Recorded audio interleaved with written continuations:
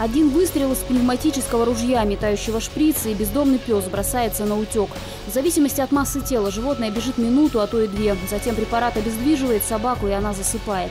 Это не сцена вечерней охоты док-хантеров, так работают читинские врачи-ветеринары. Вернее, вынуждены так работать. Еще летом, после трагического случая с гибелью мальчика от стаи собак, правительство края обязало медиков заниматься совсем не медицинским делом – отлавливать и утилизировать собак. Ветслужбе при этом говорят, Забайкалье – единственный регион страны, где докторам приходится переодеваться из белых халатов в камуфляжные костюмы и идти не спасать, а фактически убивать. Хотя сами доктора, конечно, предпочитают другое слово – проводить эвтаназию. У нас имеется два пневматических ружья, которые стреляют летающими дротиками.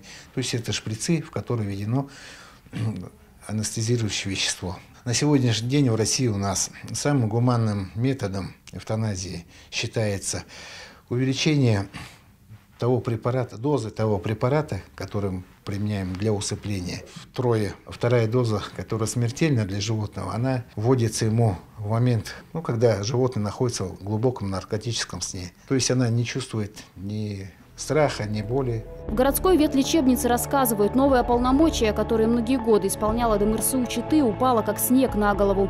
Двое врачей, узнав о дополнительных обязанностях, сразу уволились. Остальные пытаются привыкнуть и смириться. За отлов собак им не доплачивают, так что охотиться на бездомных псов приходится в рабочее время. Прямо на глазах у возмущенной публики. Зрелище не для слабонервных, да и самим медикам такое занятие не по душе.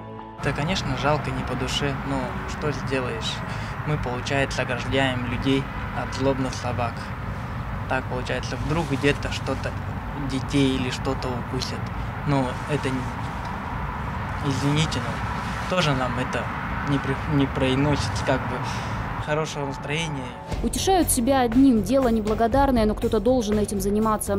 Только за три с лишним месяца в ветслужбу поступило свыше двух тысяч заявок от читинцев, которые жалуются на бродячих собак. За это время медики усыпили 350 агрессивных животных. Больше всего таких обитало в районе школы номер 17 Большого острова на Черновских, вблизи улиц Магистральная и Ползунова. За лето численность бродячих животных за счет таких зачисток заметно снизилась, а вот в ближайшие недели ветеринары ожидают очередной скачок. Из дачных кооперативов брошенные собаки потянутся в город.